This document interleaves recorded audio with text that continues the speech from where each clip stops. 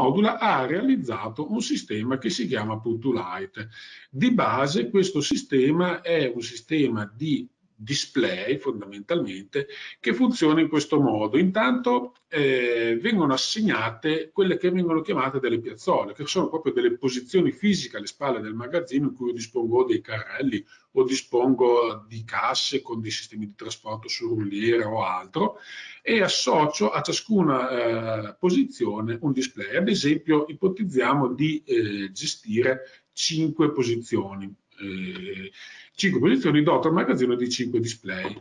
A questo punto, quando eseguo degli ordini, il, eh, il sistema mi eh, associa a ciascun ordine una posizione. Quindi se avessi eh, configurato 5 posizioni, ma è un numero assolutamente eh, di esempio, possono essere anche molte di più eh, o anche di meno.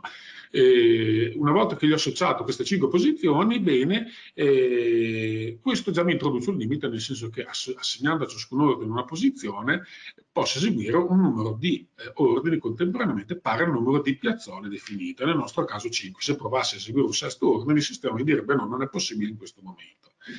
Eh, di questo sistema noi forniamo eh, i display, tutta la parte elettronica di controllo e cablaggio, la struttura, eh, diciamo così, eh, di mh, fissaggio dei display eh, però dove fissare questa barra la fornisce il cliente, potrebbe essere, eh, a volte sono stati realizzati dei portali in alto se ho dei sistemi di trasporto particolari, oppure anche fissati alla base della rulliera giusto per avere un'evidenziazione. Le caratteristiche del display eh, sono di un pulsante di eh, validazione che può essere eh, acceso fino a sette colori, un display grafico OLED e una struttura di supporto eh, in alluminio il sistema eh, Put2Light funziona in questo modo. Diciamo, ipotizziamo, qui salta fuori perché ho parlato di 5 display, di 5 posizioni, eh, possono esserci due soluzioni possibili, con dei display condivisi e dei display non condivisi. Se guardiamo a sinistra display condivisi, ipotizziamo un paio di magazzini verticali affiancati.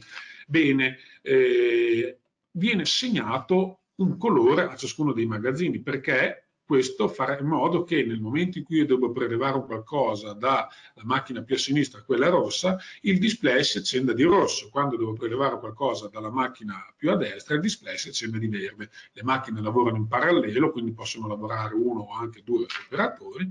Bene, quando ho qualcosa da prendere sul modulo 1 eh, con, eh, appartenente ad un ordine mi si accende la luce nella posizione corrispondente. Stessa cosa sul modulo 2. Se ho da prelevare per due ordini diversi, avrò due display accesi. Ma cosa succede se su entrambe le macchine devo prelevare qualcosa su eh, il medesimo ordine? Bene, eh, il display coinvolto lampeggia, quindi io devo selezionare se sono l'operatore che viene dal rosso piuttosto che dal verde. Questo, oltre ad introdurre un ulteriore passaggio, è foriero di un possibile errore, nel senso che se io mi sbaglio, vengo dal modulo rosso e distrattamente confermo il, il prelievo del modulo verde, confermo qualcosa che non ho fatto.